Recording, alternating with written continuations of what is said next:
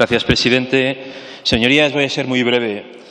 Precisamente por respeto al dolor de muchas familias que todavía hoy, todavía hoy están eh, sufriendo lo que, sería eh, el fallecimiento de miembros del núcleo familiar, creo que utilizar esas cifras de mortalidad, utilizar los muertos para finalidades políticas de desgaste, creo que realmente éticamente y políticamente no es, no es bueno y menos utilizarlo en una PNL, que creo que una PNL no, tiene, no tendría que tener ese sentido, sino que hay otros mecanismos incluso para hacerlo. En todo caso, con eso no, no, no queremos decir que realmente el COVID, la crisis sanitaria del COVID, haya puesto al descubierto ¿no? los déficits de los sistemas sanitarios y que precisamente uno de esos déficits precisamente sean los sistemas de información. Pero vuelvo a repetir, no es este, creo, el espacio y no es este el momento precisamente en pleno dolor y en plena presencia todavía del COVID en la sociedad y, por lo tanto, en plena presencia todavía de, muertos y en plena presencia todavía de posibilidad de, rebrotes y contagios nuevos, no es el momento, creo,